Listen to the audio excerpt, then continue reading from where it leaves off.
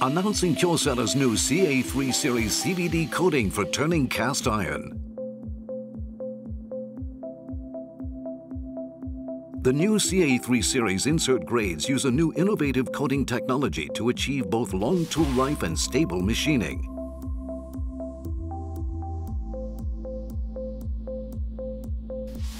The high coating adhesion prevents peeling of the coating to provide excellent machining stability.